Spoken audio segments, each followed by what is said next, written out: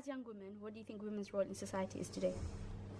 I don't think that, as an individual person, I don't really see myself having to fulfill uh, a role or an expectation of me. I'm just trying to be who I am as an individual rather than being someone's wife or a daughter.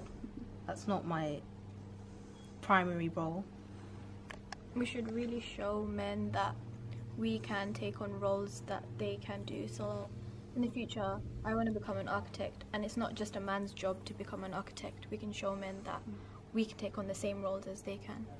Um, I sort of agree with, well, I definitely agree with Nadia, um, mainly because I think, if, say, if you grow up and you do enter that sort of field, you inspire other women to enjoy to in, to go into that field as well. But then there's also like a social stigma where we're always put down and degraded, saying men are better than us and they Mm-hmm. take on roles such Mm. as that.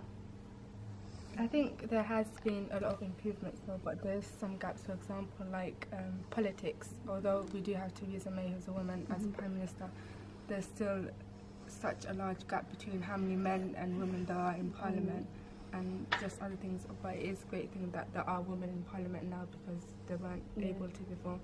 But then even when the women are working and they're not at home, mm-hmm. they their pay is completely different Yeah. to men. You can see that through news reports, such as the BBC. And what do you all think of the suffragettes and what they did 100 years ago?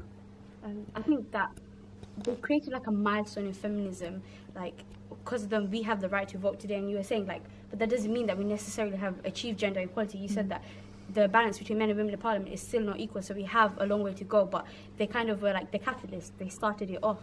I think that feminism is beyond politics and law. It's also like attitudes people have. So it's not just about legislations, it's more to that. It's more about how do we think women are as individuals and how they can contr- contribute to society. Yeah, and the next step that we can take to make a difference. Um, and I also think that it's not we shouldn't be changing the minds of women. We should also be changing the minds of men because sometimes men might have this ideology that they're better than women. Um, some, not all, some. Um, but also the fact that if we're out here trying to change opinions of mm. women, trying to say that they're powerful and they can do whatever they want, we should also try and tell men that yeah, you can be a builder, you can do this and that.